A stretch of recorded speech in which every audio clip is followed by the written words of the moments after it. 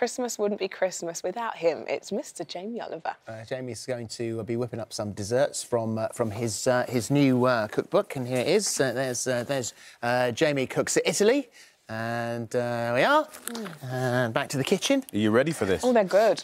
Very good. Oh, I want them So now. fresh Really cherries can be quite expensive this time of year, um, but if you get the jarred ones, uh, these are Not called again. maraschino cherries. They're that nice, as you can see. They are really genuinely delicious, but they come in a really interesting syrup. So look out for those in the supermarkets. We're making a tiramisu, guys. A tiramisu, classically with mascarpone cream, which is very very rich. I've cut it 50-50 with really good organic yogurt. Why? It does lighten it, but you get a little kind of lift of acidity. So I think that's really really nice. Now, if you can whisk for me, darling, Sure. I'm going to add some vanilla paste to this beautiful mascarpone and yogurt mis- mixture. Mm-hmm. Uh, and I'm going to add some of your this morning honey.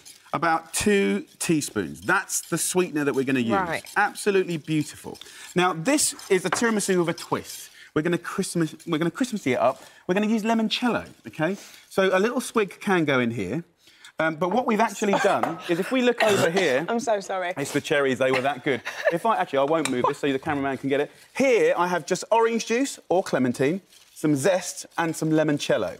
You simply boil it down to a syrup, and that is absolutely exceptional. Now, over here is the classic tiramisu biscuits. You can buy them in all Yeah. supermarkets. They're just dried. You can use regular sponge if you want, buy it or make it. Ladies' fingers. Ladies' fingers, absolutely. We're going to put 200 mils of coffee or good espresso in there.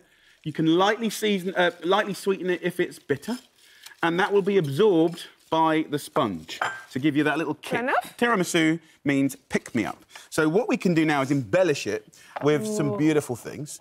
Um, so I'm going to put some fresh cherries. But like I say, if you went for these incredible jarred or syrupy tinned ones, uh, the ones that have tickled your throat. I really have. um, I'm trying so hard to hold it in, but it does make it Christmassy. And of course, should you wish, should you, don't you worry, darling, my cooking normally has no, no, I'm so sorry. Um, uh, we're going to go in with that incredible creamy mixture. Now, you can do two layers um, with this, so you can go the so cream, nice. then the sponge, then the cream, then the sponge. But this, my friends, is the simplest, most delicious dessert for Christmas, or. Christmas time. And we can then embellish it Mm. more. The idea is that we can take, and actually, Christmas has always been about taking friends uh, and, and making them posh for Christmas. So we can take some of that cherry juice like that, but we can take the essence of Christmas, which is um, a clementine, and zest it over the top. And then so Phil, true. That's the smell of Christmas, isn't Oh, it? Oh, it so is. And then Phil's going to show you a little trick. Now, Britain, have a look at Phil right now. We're going to go towards the crotch area, and what's going to happen? He's going to show you. You're going to get a large chopper. Uh, he's going to put a piece of white chocolate or any chocolate next to his upper thigh. Close up, please, Mr. Cameraman. Uh, he's then going to put the knife down, and he's going to scrape on, the, the, white dish, the dish is in the way. Hang on. Oh, what's in the way? Do you want me to... This dish? Yeah, So all right. I'll Phil is going to show you how here. to shave chocolate, and this is great for trifles, any chocolate dessert, or even this tiramisu. Right. So he's going to gently place the large knife at the end of the chocolate. He's going to drag it evenly and slowly towards him. Oh, yes. And as he does that, he's going to create the most beautiful shavings. It's very easy to do. Uh, get your chocolate at room temperature. And Phil, at this moment in time, will show you what's at the other end of his knife, which he obviously. Oh, yeah, it's, so that's it. Look at that. so good. So if you can just hold it above that there and slowly tap it like an advert.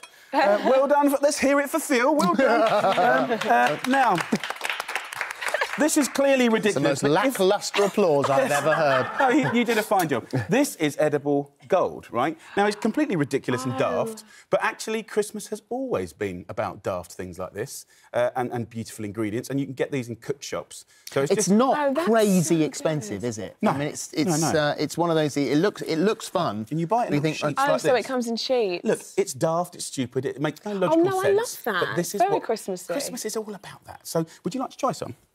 Let's have a little go. love I'm going to to get in there. I'm going to give you a nice little portion. It's really good made the day before. Mr. Cameraman, if you can see the inner workings of this here, you get the layers, so very, very nice. Phillip, feel free. I got gold on my tongue. Oh, you see, well, you're that posh. So, um, feel free to eat away. If you would like to walk over this way, You're so um, happy with that, aren't you? I'm going to show you some other things. Um, so, in front of oh, us here, wow, that is good. uh, as they tuck in, we have a whole array of dishes from the book. Uh, these are Italian dishes, um, but we've got a wonderful chocolate dessert here with rum uh, and uh, and beautiful amaretti biscuits. It's almost like a creme brulee, but it's kind of like a Turin Nice. style. Over here we have an amazing fruit. This is pear. Fruit and almond tart and a little hazelnuts in there. Here is a rum baba. That's one of my looks favourites. incredible. So soaked in the most incredible syrup uh, with tutti frutti flavours, with orange zest, clementine, cinnamon, bay leaves, ginger, stuff like that. Uh, over here we have cannoli, a nice little close up there. Look at the piping in there. What's it? What, what is that? Uh, It's, well, it's, it's, a, it's basically fried pasta rings Right. stuffed with chocolate and, and a little grappa and ricotta cheese, which you can get everywhere now. And here a lemon tart. Have a little go. Oh, lemon tart is my so favourite in dessert. I've not got. I'm going to nick one of these plates. Feel free. Pete. Oh, I give out a whole Yeah, way go for it. longer. You should get texture there and uh, the really tart. delicate chocolate. Lemon tart is my favourite dessert. Ah, well, simple things done well. That's an Amalfi, a lemon tart. Really, Story of my nice. life. So there you go. Oh, one thing I must show you. Um, everyone goes crazy for a certain chocolate spread, um, and this is called Gianduja, which is basically the original. Uh, I guess you would call it a Nutella. And, and actually, this has got chocolate in it.